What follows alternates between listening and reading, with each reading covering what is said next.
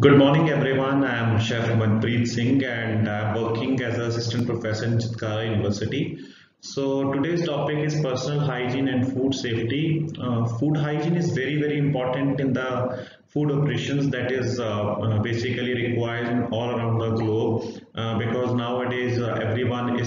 suffering from this COVID-19 and uh, uh, in this situation we should be very much hygiene and we have to take care of a lot of precautions.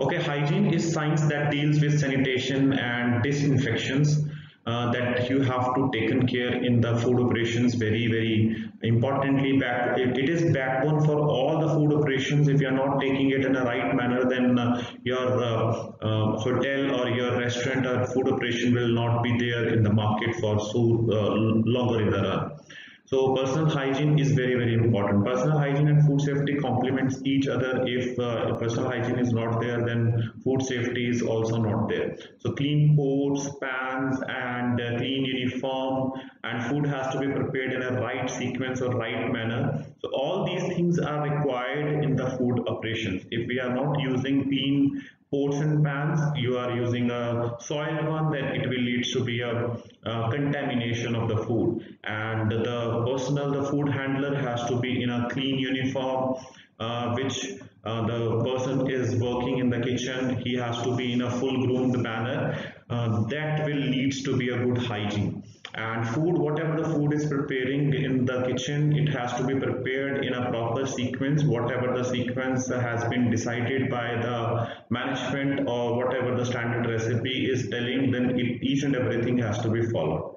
From the time of raw ingredients are received in the hotel till the time it is processed and eaten by the guest this is the food handler responsibility to ensure that the food is absolutely safe and free from all the contaminants. So this is our responsibility as a food handler that we have to check the raw material has to be safe and secure and it has to be processed in that manner so that uh, uh, there is no contaminants are present in the food and it has to be safe for eating of the guest. Now, uh, contamination we have to talk about. There are three different types of contaminations are present in the food. Presence of harmful microorganisms in the food is physical contamination, chemical contamination, and microbiological contamination. Physical contamination is a contamination uh, which is uh, associated with the foreign bodies present in the food uh, like foreign bodies could be stone, metal particles, plastic packing materials, hair, different type of bandage. If it is found in in the in the food material, then it is known as called uh, physical contamination. So it can be easily controllable uh, if uh, the food handler is very much aware about all these kind of basic necessary hygiene practices, then these physical contamination can be easily skipped out from the room and uh, we can be safe from the. Now chemical contamination is something which is very serious uh, concern and it takes place when unwanted chemicals entered inside the food during the growth and during the food preparations or processing of the food and uh, this will lead a serious illness if you take these kind of chemicals for a longer term then it will definitely end it, end it up in a cancer so we have to be very much cautious about uh, uh, chemical contamination. Microbiological contamination is a contamination which is, takes place during the presence and multiplication of food uh, poisoning bacteria. Harmful bacteria are also known as pathogens which is present in the different different food materials and which will leads to be a contamination of the food and uh, this microbiological contamination can be occurred in different three manners like direct contact method. It is a method where uh, it takes place when the butchery items and vegetable items are both are transferred in the same basket.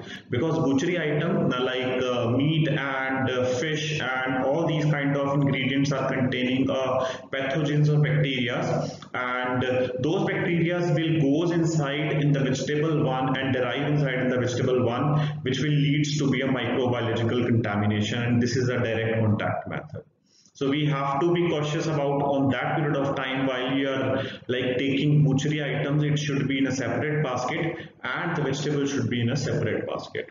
A drip method is a method when the frozen meat is stored above to the cooking food and the drippings are coming out from the frozen meat and it will mix down with the cooked items and this will leads to be a drip method. And it has not been done uh, in this way. Uh, we have to store the food material in a right manner. Okay? So we have to store it in a proper way. Indirect method is a method of microbiological contamination in which the, the same cutting board is used for the raw meat uh, or the raw uh, poultry items and on that period of time once we are done with the cutting of the raw meat then immediately we have to uh, cut the cooked food material without any sanitization without any washing of the same cutting board is used for the cooked food material.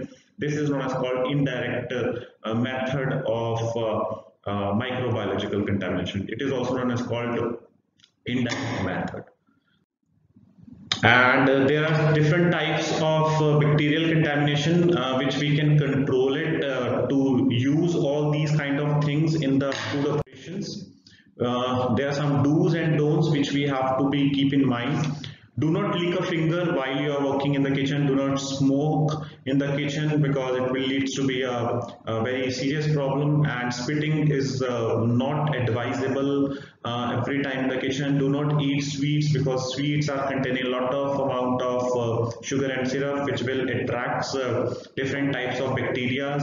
Do not wear ornaments. Do not uh, wear false in, in in the on your hands and nail polish should not be worn by uh, females in the kitchen. Uh, do not wear watches because watches also contain some amount of bacteria. Do not touch your mouth because mouth are also uh, containing lot of amount of bacteria are there. So do not pick up your nose also inside in the kitchen and uh, the do, do's are there in the kitchen which every food handler has to follow. You have to keep your hands clean each and every time which is very very important nowadays. You have to wash your hands properly uh, after half an hour or one hour which is advisable for the food service operations.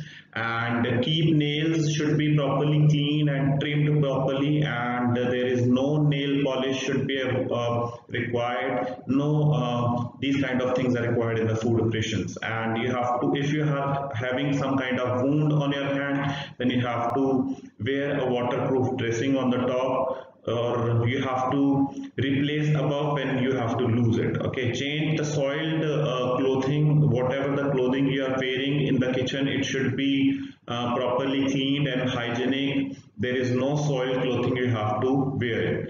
And uh, everyone those who are working in the kitchens in the operations in the kitchen operations they have to be regularly showered uh, uh, regularly and they have to take a bath on a regular basis and their hair should be properly trimmed and the uh, beard should be uh, properly trimmed or it should be properly clean shaven and you have to cover your head properly with the uh, with the chef cap these are the some bacteria which are present in uh, different different uh, food items. Like salmonella is present in uh, eggs and poultry. We have to be very much cautious about while we are cooking it. You have to cook it at a right temperature so that all these kind of salmonella will be uh, removed out from the poultry or egg items. Otherwise it will lead to be a problem for the human consumption Second one is Staphylococcus aureus. Staphylococcus aureus is present in the human uh, skin, nose, ears and hand. So it is advisable while you are working in the kitchen, uh, do not touch your uh, uh skin, do not touch your nose or ears or hand should be washed on a regular intervals. Otherwise uh, this Staphylococcus aureus in, enters in the human body, then it will create some food poisoning. Next is Clostridium uh, botulinum. This is a kind of bacteria which is present in fish intestine, canned and tinned kind of food. So we have to be very much cautious about uh, those kind of uh, bacteria that we have to taken care very much of precautions while we are dealing with these kind of uh, bacteria in the. Next is the E. coli, which is known as called coli. It is present in raw milk, vegetable intestine of the animal. So we have to be uh, taken care that uh, all the vegetables and all these kind of things has to be used in a proper way or proper manner so that uh, we do not we do not have uh, a problem uh, while we are consuming all these kind of things in the kitchen. Thank you so much for listening. Uh,